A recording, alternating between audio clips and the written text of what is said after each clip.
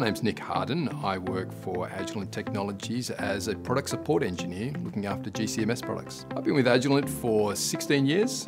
Uh, product support, we work with R&D and marketing and the quality teams to ensure that the instruments that Agilent puts out are supportable for our field service engineers and work in real world applications and uh, real world environments like our customers run our instruments in.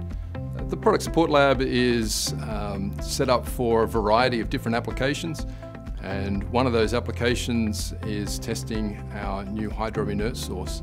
And so a couple of years ago I went through the process of getting hydrogen set up in the Product Support Lab. The peak hydrogen generator produced gas of the quality that we require for carrier gas on GCMS. It was also much easier to uh, set up in the lab to put a hydrogen tank into my lab required some EHS reviews, some occupational health and safety reviews, and replumbing around the walls of the lab.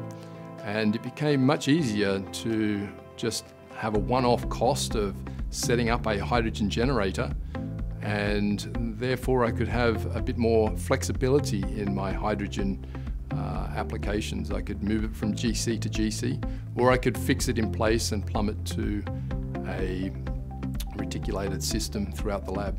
I'm very comfortable using hydrogen in my lab, especially when it's coming from a hydrogen generator. In fact, many years ago, we produced the, um, the method translator tool, and that's been very effective in helping customers convert between carrier gases and speed up their methods. You can speed up your chromatography and the Van Deemter plot, you know, maintain a lot of chromatographic resolution while pushing the peaks through faster using hydrogen as a carrier gas. So it's a, very good uh, carrier gas and with the HydroInert ion source we have enabled customers to get helium-like spectrum from their GCMS systems but using hydrogen as a carrier gas.